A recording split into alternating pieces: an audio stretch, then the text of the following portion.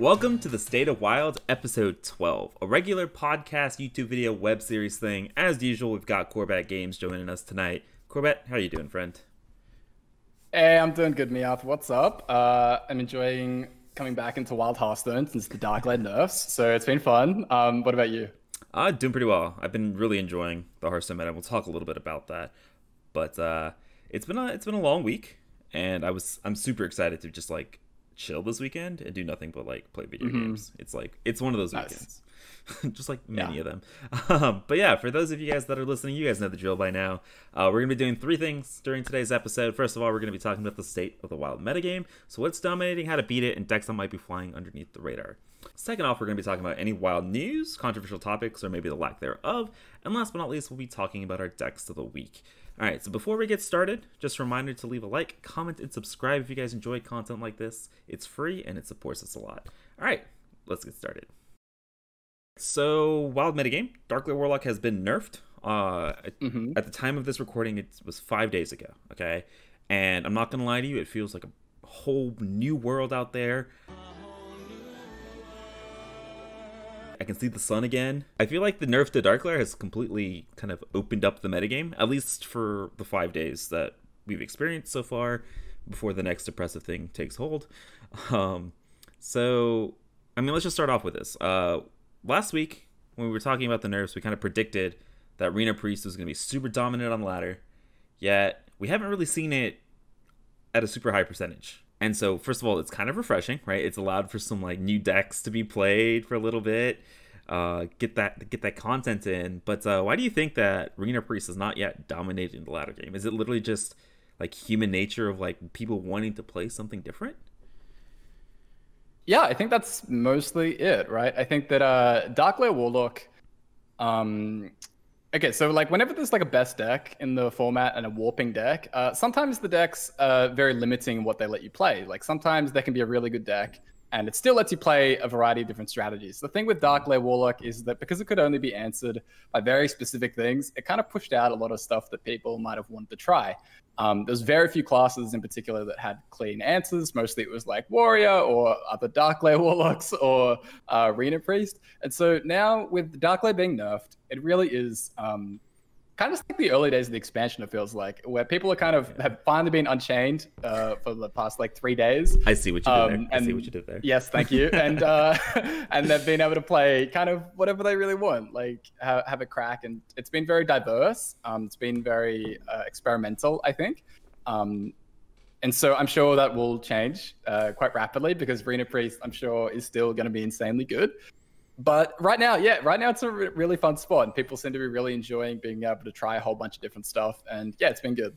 Yeah, it's very reminiscent to like the very first day of the expansion, where people are like excitedly trying yeah. things, and then people figured out that Darkglare Warlock was broken. I think we're gonna have a week or so of trying things, and people realize, well, this doesn't beat priest, and I'm losing a priest, mm-hmm. so I'm gonna play yeah. priest. we'll see, we'll see. Um, but what have your like first impressions been? Uh, I know it's only been five days, but like, what decks have you seen pop up? I know you and I have both been playing some some pretty cool decks that we'll talk about in a little bit. But like, what are some of the decks that you've seen pop up uh, in the metagame with Darkglare being nerfed? Uh, I think there are like two that really stand out to me as having a massive increase. The, the first is Discard Warlock. Um, not really a massive surprise there. I think we predicted that last week.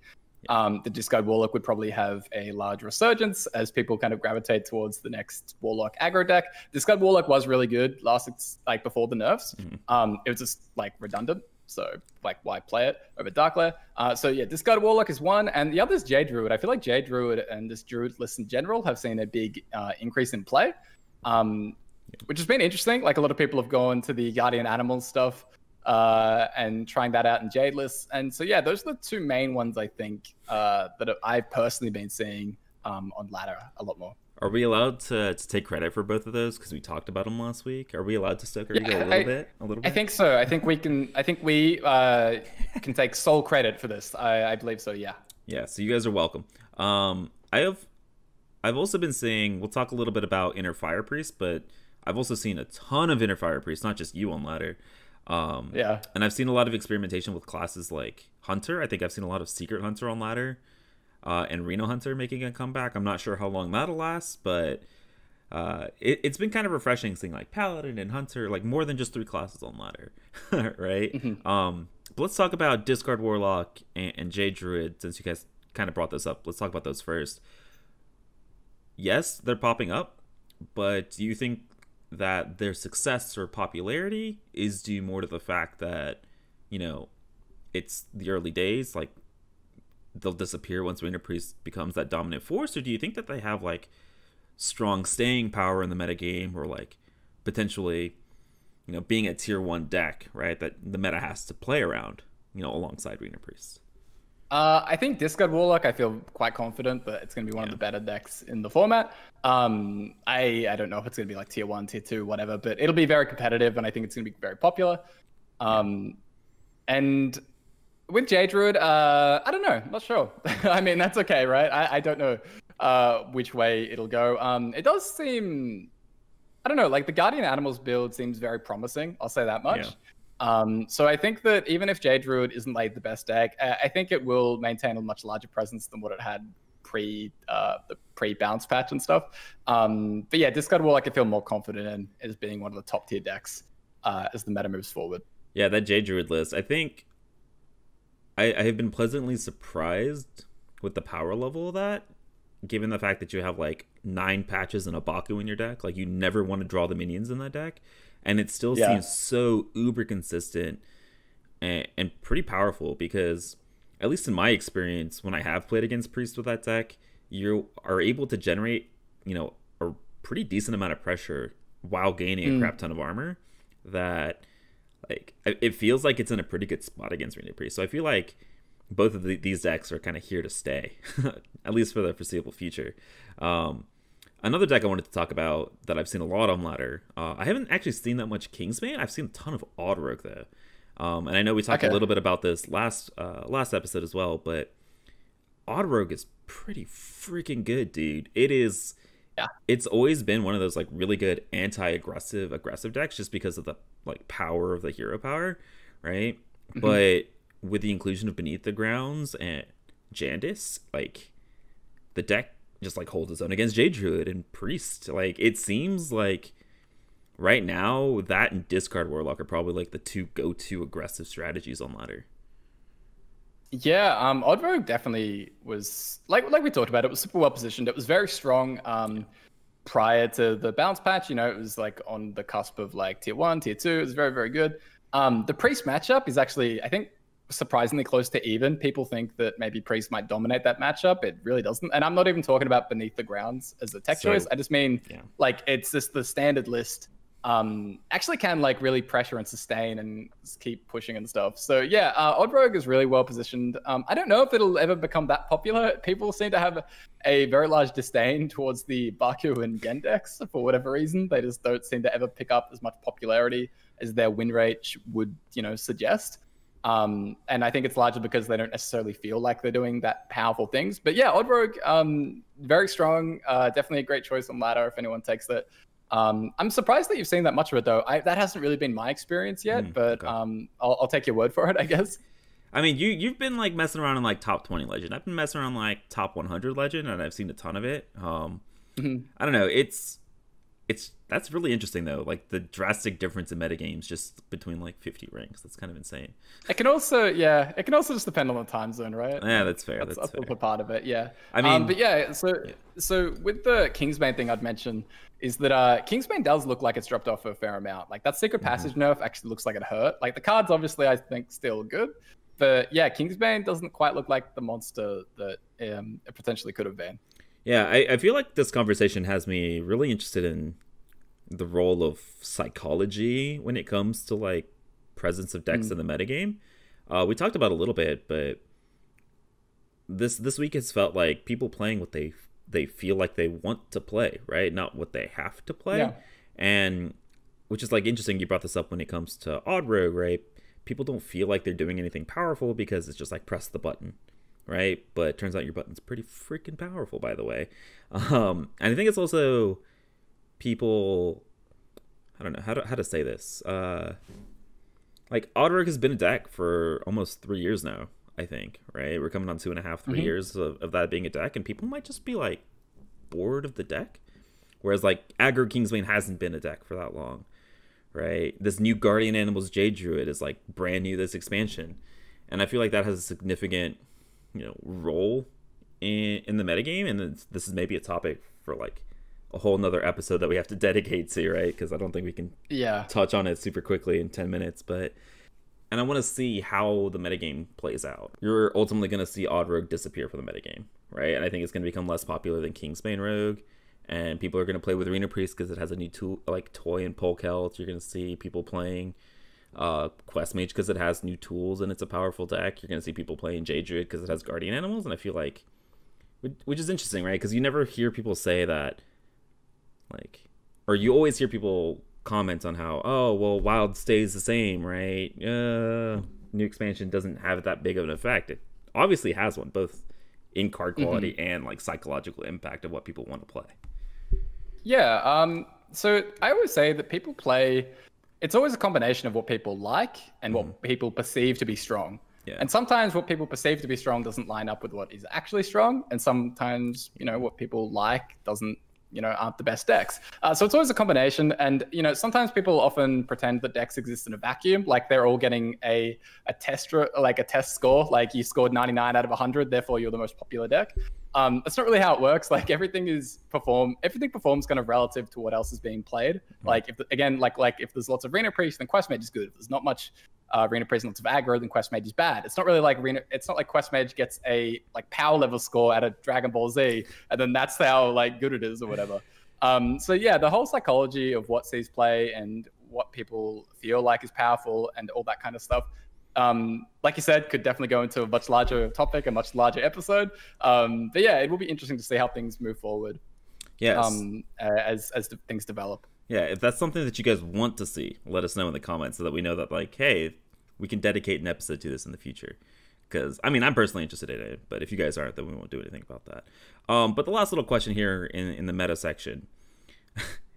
this is this is the dreaded prediction question, right? Because when you're wrong, mm. you're gonna get yelled at, and this is gonna get clipped and shoved in your face. Oh, well, thank God I'm never wrong. So, in the long run, do you think Priest is gonna end up being the best deck in the format? Yes, and, by your definition. Yes. Not even close. yes, I think I think no. I, I think Reno Priest is. Um, I don't. I don't think the wild player base uh, is going to be aggressive enough in targeting it. Um, I think that I think wild playbase in general um, is, I would say, a little less um, aggressive in going after the best decks compared to something like standard, especially at like higher ranks. Um, wild tends to be a little bit more diverse, and people tend to play a little bit more what they kind of want, um, and don't hard target things as much. So I think that Reno Priest, while it does have weaknesses, um, it's obviously a very, very powerful deck, and I think it will be the best deck moving forward, and it'll be the most warping and the most popular. But you know, that's just my prediction. I'm very happy to be wrong. So we'll, well see. I'm glad you're never wrong because that's exactly how I feel. Reno Priest, I think, has the big target on its back, and uh, I'll be looking to see if that changes. Uh, I, again, I will be very glad if it does. But uh, yep, yeah, I'm looking forward. I'm looking forward to seeing how you guys react to that. But yeah, let's move on to part two. Okay, so here's where we usually talk about wild news. Um, and while we just had nerfs, we don't really have too much to talk about. So we wanted to start a little new section here uh, for when there is no news, uh, where we answer a question from the YouTube comments related to Hearthstone or not, right? And so if you want to have a question potentially answered in a future episode, make sure that you guys, you know, reply to the pinned comment with a question so that we can, it's easy to find and uh, you know, maybe maybe we'll answer it whether we like it or not, right? So this week's question, uh, Corbett, I know you're gonna love this one. What would mm-hmm. you guys like to see in a new expansion that could bring something new to the wild meta? For example, a Murloc heavy expansion, so like heavy tribal synergies, more singleton support. I know you love that one. Some new keywords yes. or mechanics. Um, it's a pretty loaded question, and so I kind of just let you you know, you have the floor. What would you like to see in future Hearthstone expansions?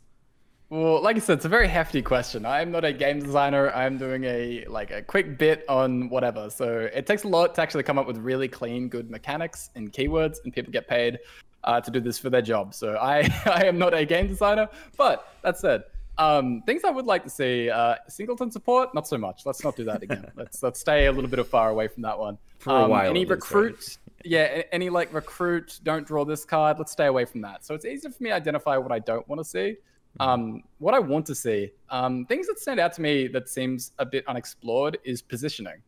Um, I think that the recent Demon Hunter set with the Outcast mechanic did a really good job in kind of outlining positioning in the hand mm-hmm. and kind of that being a little bit of an interesting mechanic. But I still think positioning on the board is a very unexplored um, mechanic in Hearthstone. There really aren't that many cards that uh, take advantage of that. There's some of them that take advantage of it um, in defensive aspects, right? Like Combustion is a recent one.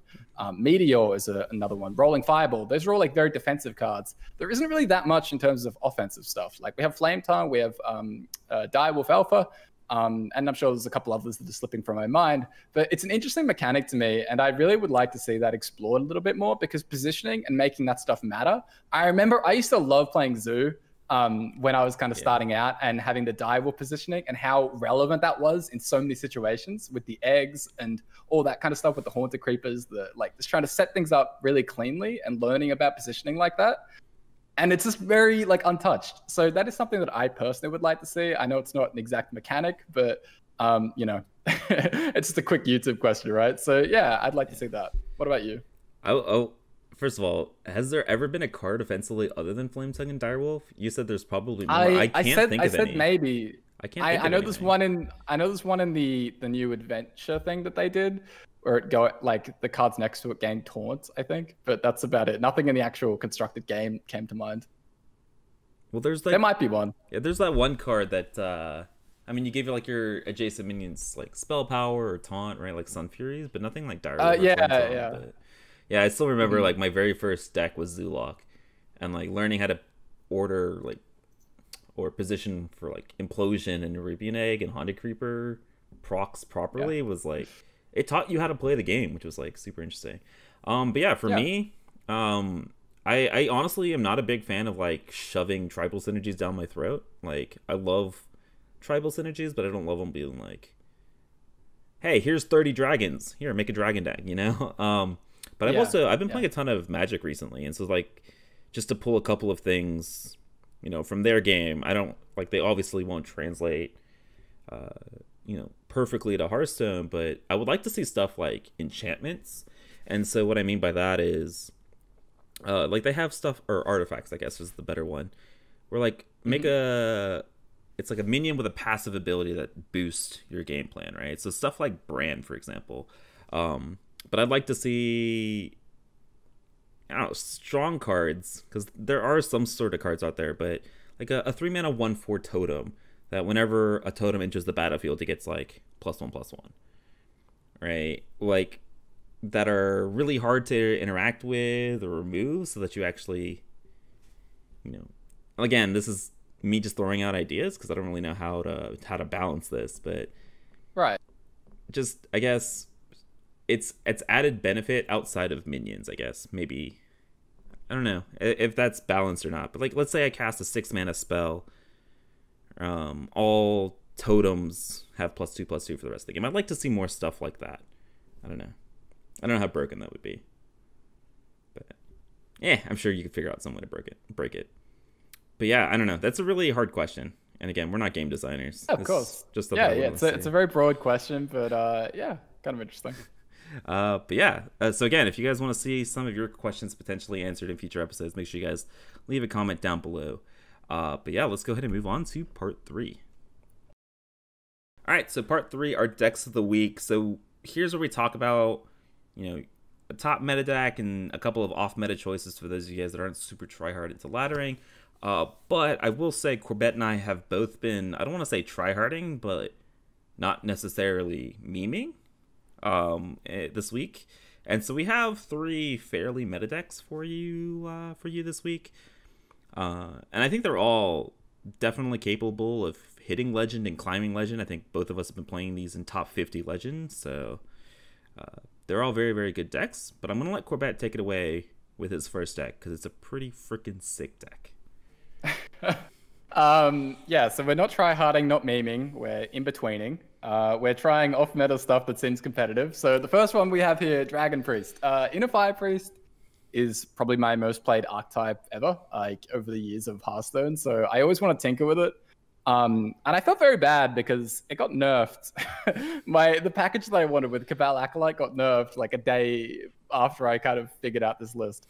Um, but still, it seems quite strong. I've been playing it post nerf, and it seems great. Um, so yeah, I, this is an inner fire list that uses the Wave of Apathy um, as sort of a, a, way to kind of leverage Potion of Madness and Cabal Acolyte. Um, so often, it's the same kind of thing where you're kind of like stacking the board and looking to like buff up Divine Divine, Innerfire your opponent, OTK.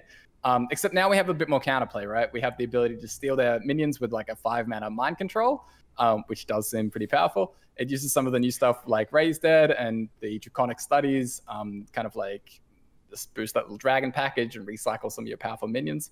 Um, but yeah, it seems like a powerful list. It seems like it's very hard for the opponent to often play around. It's awkward because if they stack too much stats on the board, they um, can get the minions stolen and killed by just going like wave, potion, divine, inner fire. I experienced um, that yeah, firsthand. Yeah. yes, yes. I, I, think I beat up me after the zone Allura for a 26-26 or something. um, but yes, it, has been a lot of fun uh, trying to test this. I think inner fire priest and this dragon package in general, this this whole like a lot of the like uh, the tools in here are very very powerful. So is this the best shell? I don't know, but I'm like 20 and 8 with this list at like top 10, so it's been good so far. Yeah, so we have a little bit of extra time in this episode, so let's let's dive into some of these lists a little bit more than we normally do, uh, and talk about some of the kind of maybe hidden synergies uh, within mm-hmm. this list, especially for a list like this that has a bunch of synergies that might not be super obvious, right? I think the small one sure. I was a big fan of when I was playing against you was this Cleric Scales to draw spells out of your deck and then raise dead to bring them back and you actually draw an insanely surprising amount of cards? Like it's it's turn yeah. six and you have 15 cards left in your deck. I'm just like what's happening? So it makes the combo feel that more consistent which is scary. But yeah. Uh-huh. yeah um yeah visions and uh cleric both like uh, being able to tutor that much gives you a ton of consistency consistency in finding your pieces um and like i said like raise dead being able to bring it back is really nice uh, Raise Dead on Duskbreaker is absolutely dis- disgusting on any aggro deck. Um, there was one day, one game I played against an aggro druid where I played, I think, four Duskbreakers and I could have played a fifth. Um, so that was kind of nasty. Um, some of the other little synergies that stand out, maybe um, a very simple one is just like Northshire Cleric on one into priest uh, uh, powered beast on two. Uh, it's very like simple, but you trade, get the immediate card draw, um, which is kind of juicy. Um, other ones, uh, let's see, Draconic Studies. Um, I don't know, Draconic Studies being able to cheat out the Duskbreaker is kind of cute. Like you get to play it mm. as a, a dragon activator, right, for your Duskward operative, but you get to cheat out some of these guys really, really early, which is um, often really important in Wild, right? Like being able to play Duskbreakers on three is a big difference than playing it on four. Uh, so yeah, I know there's a bunch of cute little stuff here, and I, I like this list a lot. Um, and I'm going to be like, I don't know, keep playing it for a bit, I think. Yeah, I I love Inner Fire Priest. I do not love playing against Inner Fire Priest. Priest is very yeah. very good at doing the annoying things very well. yeah. Uh, but I'm honestly like I'm really surprised that Raise Dead is like still a card at zero mana. Like that mm-hmm. card I feel like in 20 different decks is still probably the best card in those 20 decks. Uh, or pretty damn close. Uh, but yeah, let's move on to our next deck. Uh, we're gonna hop down here and talk about Cubelock and so you're you're about to say Cubelock off meta, like come on, bro. But just just wait, we're running Archwitch Willow, all right. And so I initially was running this version of the deck specifically to play with the buffed Archwitch Willow, but it actually turned out to be pretty damn strong. Um, mm-hmm. And so this version of the list is really, really heavy on demons, kind of what we were talking about last week. Uh, so we're running nine demons, double Void Caller, Doomguard, uh, Dreadlord, Voidlord, and the Mal'Ganis. And essentially, the way that you beat Priest with this deck, because uh, that's kind of what I'm always thinking about. How do I beat Priest? Because for we're Warlock, we get to beat aggro. Instead of just going purely like cube the Doomguard and Plague of Flames and try to deal like 15, 20 damage burst, you just have literally endless waves of threats. Uh, and I, the reason I really like the Willow is because turn seven is the Psychic Scream turn, right? They'll Psychic Scream two big demons from your board into your deck, and then you really don't want to play the Gul'dan on 10 because you only have like one or two demons. But Willow pulls them out of your deck. It's insane, just amounts of tempo. Uh, and it's been really, really good for me. I, I haven't played too much of this deck, but I am nine and three with this deck in top 100 legends, so it feels pretty damn good. It beats up on Jade Druids like 100%, beats up on Quest Mages. It's been pretty good against Priest. Uh, and for me, those are like the three barometers of being pretty damn good. Um, I will say it's a little bit worse against aggro because like the Void mm-hmm. Caller into Void Lord consistency isn't uh, you know as consistent. But I mean, you're still Warlock, right? So you're you're fine into aggro, just not as auto win as it used to be. Yeah, I like this build a lot. Um, I don't know, I, the Doom Guards for like the kind of the flex spots, I think, mm-hmm. um, where you're kind of running them obviously to make your Willow really consistent and make sure that it's always hitting the two demons and stuff. But um, it is potentially slightly greedy, and I think you could look at running something else. But I kind of like this 30. I'll just say that I like this 30 as it is. Um, but yeah, so Willow, like I haven't actually had the chance to play Cubelock myself. Mm. But yes, Willow obviously um, like, like you said, as a as a psychic scream sort of response and being able to reflood the board. It's a ton of mana cheat, it's a ton of tempo, uh, very very strong. So yeah, Cubelock I think is in a pretty happy place right now. It seems like it, um, where Cubelock is kind of giving a little bit more breathing room than what it had previously. Um, especially against like Dark Warlock, where it didn't really have great answers to multiple 8-8s. Um, so yeah, I kind of like this list a lot. I'm sure I'll give it a, a, shot soon. But yeah, I'm almost excited to see the return of Cubelock. I've kind of missed it while it's gone away whoa, from whoa, Demon whoa, Hunter. Whoa, Don't say that too loud. I know, I know. I can't believe what I just said. But yeah, with Demon Hunter kind of pushing it out for a bit, I, I kind of want to play some Cubelock now. Yeah. Also, shout outs to last week where Corbett said that Willow was probably going to be good, and I doubted it. Yeah. Like I, I, I need to learn my lesson. Corbett's never wrong. So, uh, but yeah, mm, yeah, yeah. Cubelock, Cubelock is good again. It's, I mean, it's never stopped being good, but it, I think it's back solidly in the metagame. Especially if this holds its own or is slightly favorable into Arena Priest moving forward, I think you're super happy to see that. Mm-hmm. All right, uh, and last but not least, um, I've never really considered myself a, a paladin aficionado, but uh, this is the deck that I've been jamming a ton of and having a lot of fun on ladder. Um, I'm holding about a 56% win rate, so not like super great, but I mean, for pure paladin, I guess this is not even pure paladin anymore, it's just Libram paladin. Um, doing mid-range decks justice in this format. Uh, it's been it's been a ton of fun to play. It's got a little bit of high roll mana cheat with the Allura. Uh, and I think the big interesting like kind of innovation, I don't even want to call it innovation, but uh, just like pure packages is just not worth it. It's not good. I think a lot of the pure Libram lists are really only running the four mana four two equip a true silver, which just doesn't feel super impactful, or at least didn't mm-hmm. in the metagame. And so like, I just took them out. I put in Loatheb, put in Penflingers. The Penflingers have been really good at helping control the board against rogues and other aggressive decks. And, you know, it actually is kind of a ton of damage against priest if they like aren't killing you on turn eight, turn nine, and you're able to cycle Libram wisdoms. It's it actually it adds up really, really, really quickly. Mm-hmm. Um, yeah, so this build is something that like has seen something similar to this has seen playing standard, yeah. uh, where play, people abandoned the pure idea and they went for like pyromancer and penflinger and stuff like that. Mm-hmm. Um, as far as I'm aware, I'm not super clued in to, to that, but uh, yeah, the the idea of penflinger, um, penflinger makes this deck I think a lot more interesting than where it was. And now Libram Paladin was a deck that I think was actually very solid and underrated, mm-hmm. uh, one of the more like underplayed decks and has been for a very long time.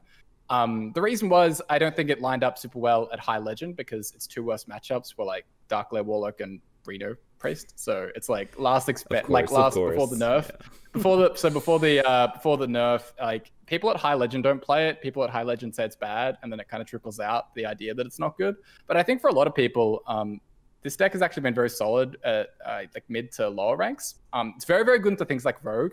Um, it has a ton of like anti-aggro tools where it has like really efficient um, early game and it has a ton of healing and taunts. So Kingsbane Rogue would really, really not like to say this, I think. Yeah. Uh, Spikeridged Steed, not their favorite card ever. Um, but yeah, the Penflinger in this list is super cool to me. Um, I, I was talking before the uh, before the podcast started. It reminds me a lot more of like a rogue card or a rogue mechanic compared mm. to something like um, Paladin, where you're constantly like this replaying all these cards over and over. It doesn't feel very Paladin, which is usually very curvy and kind of just like um, this kind of like curving out and playing your minions out and stuff. Um, nothing so, yeah, against that. Okay, cool. for those of you that like it, no, no, like that. yeah, some yeah, exactly. So, like uh, different decks and classes exist for different players. I'm just saying it's a different feeling to what Paladin can typically do. Um, so yeah, I've enjoyed watching you play this deck actually, Meowth, and uh, yeah, it seemed to be having a lot of success with it from what I've seen. Yeah, I honestly playing not like Paladin is probably the reason that I like playing like it, this? if that makes sense. Because yeah. yeah. The, the Paladin decks that I have enjoyed the most have been like it was like anything OTK Paladin back in Standard was the Paladin deck that I enjoyed playing the most, and mm-hmm. it did that did not really play like Paladin. I felt like it was it was a pure combo deck, whereas yeah. this is essentially it doesn't play like Paladin, which is it was just really cool. And there's a ton of small things you can do in here. Um, but it's been a lot of fun. Uh, I will say, if Cubelock gets super popular, stray away from this list. It's not good. Um, Void, yeah. Void Lords and Mal'Ganis are not your not your friend. but uh, but other than that, it's been really fun. I we were talking earlier about Odd Rogue being like that premier anti-aggressive aggressive deck, and that's probably true for like meta decks. But like you were talking about with Kingsbane Rogues and like Odd Rogues not being able to deal with your Spikeridged Steed or Librams of Hope super efficiently. Like, once you hit four or five mana and you go Allura into Truthseeker into Steed or like a five or six mana Libram of Hope, like the game's over, which is mm-hmm. insane. Uh, one thing I do want to try in this list um, is Lorekeeper Polkelt actually, uh, because against because against Priest you really want your Librams of Hope and like your seven drops because those are your threats against Priest to keep putting on the pressure. Um, and against aggressive decks, it puts the healing at the top of your deck. And so I'm not like 100% sold on it, but it's something that I am probably going to try out eventually. Okay. Um, just I I'm still in the the innovation stage of this deck, but it's been a ton of fun.